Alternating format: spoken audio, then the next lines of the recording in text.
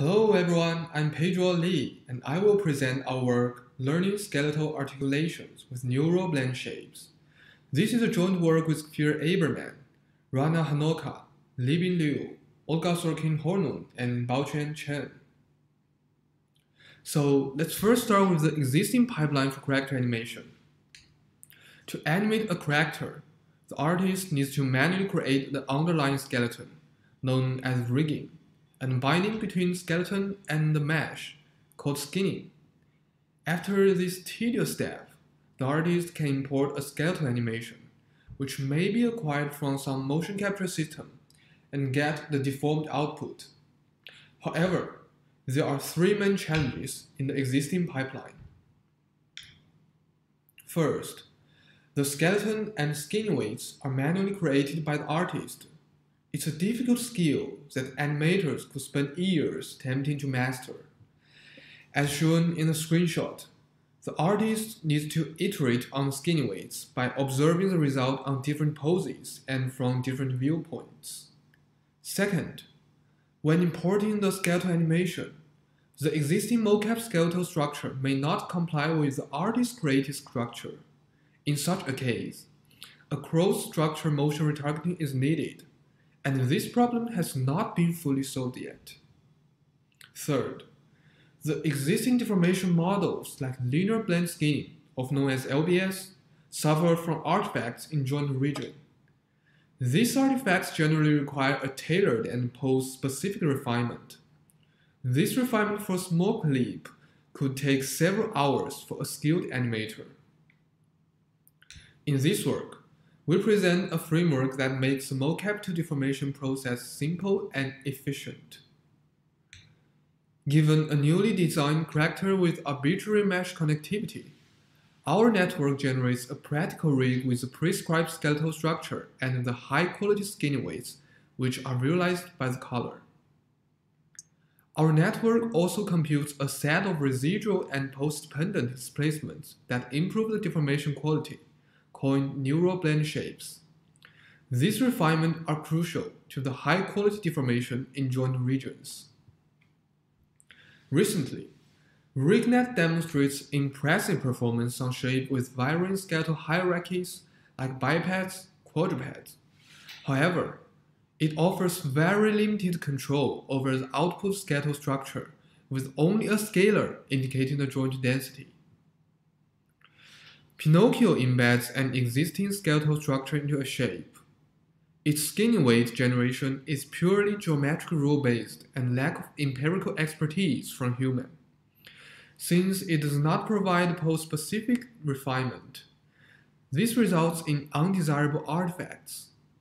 Notice that this skinning technique and its variant are still part of the automatic skinning solution in these days. SMPL model introduced high-quality deformation for fixed mesh connectivity. The corrective pose-dependent displacement, as shown in the third column, comes from the interpolation of several statistics learned blend shapes. However, in the context of rigging and skinning, different characters almost always contain different connectivity. We introduce our deep learning framework to facilitate the process of mocap deformation and to produce high-quality result. Before diving into detail, I want to provide some intuition for our approach. Our framework consists of two branches. The envelope deformation branch that predicts the rigging and skinning parameter for the input character. This branch generates a skeleton with the skeletal structure retrieved from the mocap data and the residual deformation branch that works parallel with the envelope deformation branch. One of its network takes the geometry as input and generates several blend shapes. Another light network takes the joint rotation as input and produces n scalars that are used to interpolate among the generated blend shapes for producing residual vertex displacements.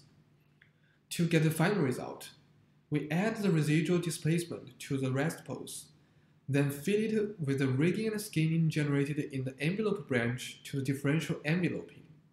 Here, we choose linear blend skinning. Then we can get a deformed shape.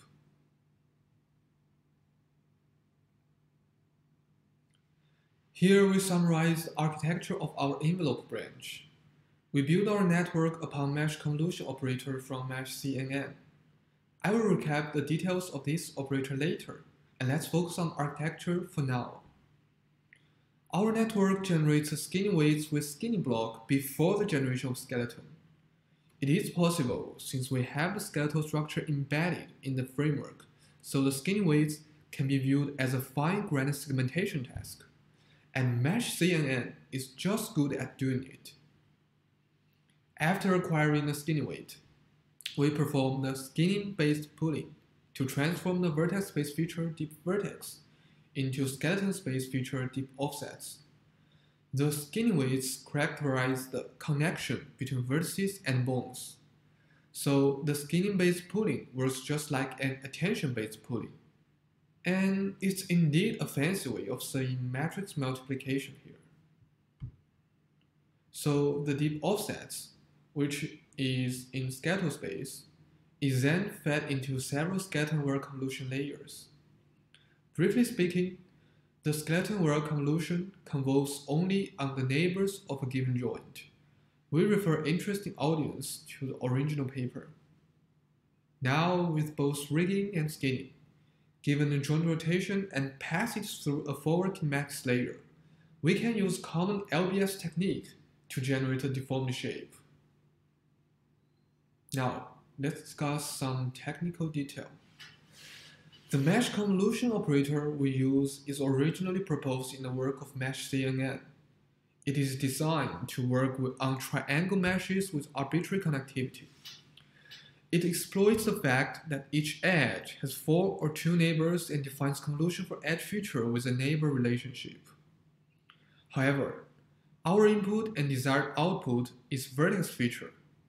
To address this issue, we employ a similar scheme to Point2Mesh to convert between vertex and edge feature. For the conversion of vertex to edge, we simply average the two endpoints features of a given edge. For the conversion of edge to vertex, we average the feature of all neighboring edge of a given vertex. Let's take a closer look to the skinning block. It takes vertex location as input and predicts the skinning weight. Obviously, Predicting skinning weights require global awareness. And here, we endow the network with global awareness in two ways. The first is rather trivial. We use the global location as input for the network. Although convolution only provides local awareness, the input feature provides global awareness. The second is inspired by the segmentation network in PointNet, whose task is actually similar to the skinning block. They propose to apply MaxPool to the deep feature and concatenate it with per vertex feature to produce segmentation result. Similarly, we apply MaxPool to one-fifth of the output channels along vertex axis after each convolutional layer, then repeat and concatenate it back to the remaining features. The residual branch is similar to the envelope branch. They both contain skinning block and geometry block. Note that the skin block is shared with envelope branch. As residual branch generates a set of residual blend shapes that is used to improve deformation quality, which is a per vertex feature. We replace the skinning-based pooling with a simple concatenation operation and feed the concatenated feature into several mesh convolutions instead of skeleton-aware convolution. This constitutes the network for predicting the residual blend shape basis. We employ another lightweight MLP network to predict the coefficient that is used to interpolate among the blend shape bases. We carefully design the interpolation process. Let's dive deeper into it. So precisely speaking, the rotation of each joint is fed into its corresponding MLP and each MLP is conditioned on only one joint rotation. Ideally, the blend shapes BI should be very sparse, since the corrective displacements of different joints should be orthogonal. Thus, the number of BI should be proportional to the number of joints and could be more than 200 in our experiments. The output channel being large is a big challenge for the network for both training and inference time. To address this issue, we introduce a binary local mask MI for each joint, which can be calculated from setting a threshold for the skin weights. We simply perform an element-wise product to the corrective displacement. This step has two advantages. First, by exploiting a sparsity of corrective displacement, we can compress the number of blend shapes from proportional to the number of joint to a constant. In our experiment, from more than 200 to only 9. It also enforces the locality of corrective displacement, even if we are learning from an overfitted model, the SMPL model, which we'll see very soon.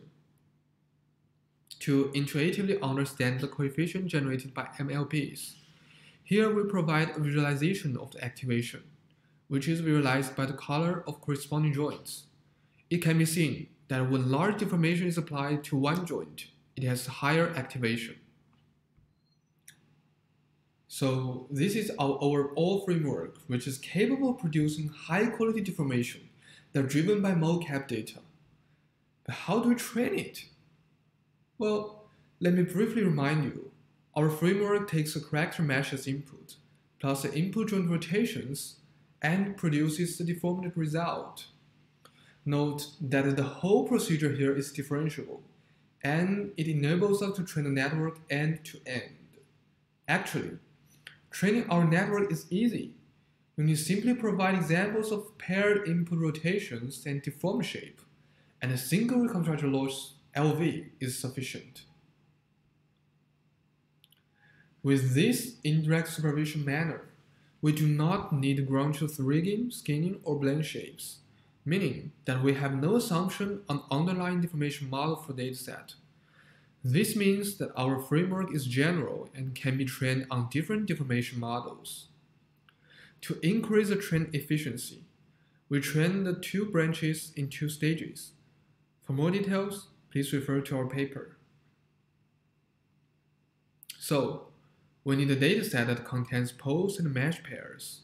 Luckily, the SMPL model gives a deformed shape for a given joint rotation, which just fits our need. It also accepts shape parameters that controls identity, which enlarges our training set with different body shapes and makes our system more robust. In training time, we randomly sample joint rotation R from two predefined rotation distributions. For envelope branch, we sample the rotation angle from a rather smaller range because it's enough to capture the articulation. For residual branch, we sample rotation angle from a different distribution to capture even larger exaggerated deformations. However, this is not enough for training a general model for mainly two reasons. The SMPL model is of fixed connectivity and mesh convolution heavily relies on local connectivity. The fixed connectivity can lead to overfitting. And the second, the SMPL model only captures naked human model, which is only a small part of real-world models. The lack of variety in geometric feature can also lead to overfitting. So we propose two data augmentation methods to deal with these two problems. To deal with connectivity, we apply three common topological operators on mesh, edge collapse, edge split, and edge flip to augment the dataset. It can be proved that the combination of these three operations can achieve arbitrary connectivity. It can be seen that with connectivity augmentation, the predicted skin weights, realized as the color, can stay robust to the change of connectivity. But without connectivity augmentation, our network struggles to generate correct results for unseen connectivity. In multi-garment net, the authors propose a dataset of 3D scanning dressed people. Although it does not contain rig, but the authors have them registered in SMPL connectivity so we can make good use of it. We fit an SMPL model into the registered model by applying an L2 loss on vertex location and optimize the joint rotations plus shape parameters. Then, we can unpose it with the help of joint rotation and deformation model provided by SMPL, and even put into any pose we want. This makes it qualified for being part of the training set. And this augmentation creates geometric variability in the training data.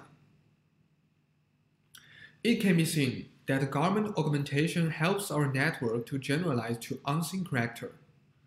Now, we have a fully understanding of the training process of the system. Let's enjoy some good results.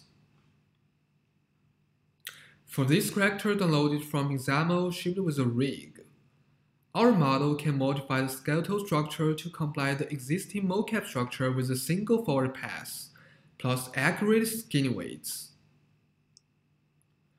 Look at the subtle muscle bulging here.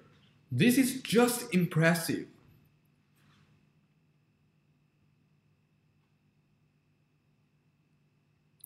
Our model can rig various characters. Here we show the generated skeleton and the visualization of skin weights on test examples from three datasets. SMPL model, multi-garment network, and an artist's handcrafted character. Here we show our rigging and blend shapes in animation. Since our model is directly trained on high-quality data, our model can outperform existing method with only the envelope branch. Our neural blend shapes can further refine the result.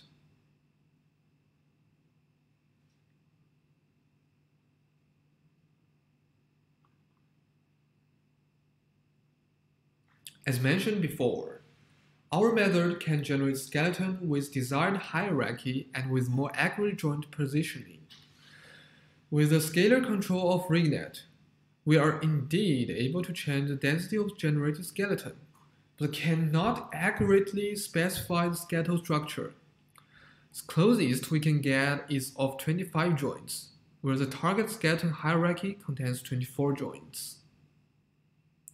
Here we compare our rigging with existing methods. It can be seen that our framework generates a desired structure and more accurate joint position. Here we show the comparison on deformation and skinning of our method to Blender, which is based on Pinocchio. It can be seen our method provides better result on the joint region and more accurate skinning weights. So I would like to wrap up this talk and to mention that we presented a new framework that simplifies the mocap to deformation process, where the deformation quality is greatly increased by the automatically generated blend shapes. Our framework is compatible with existing animation pipeline and reaches up to hundreds of frames per second on a modern GPU. Thus is ready to plug and play in standard animation softwares as well as game engines. Note that our model needs to be retrained for a new skeletal structure. Thus, an interesting future direction could be enabling the network to support different skeletal structures with more flexibility. Our neural blend shapes demonstrates the ability to compensate LBS artifacts and capture muscle bulging effects. It could also be interesting to generate second-order dynamics effects using the same technique. Okay, that's all for this talk. Hope you enjoy it and see you at the Q&A session. Bye bye.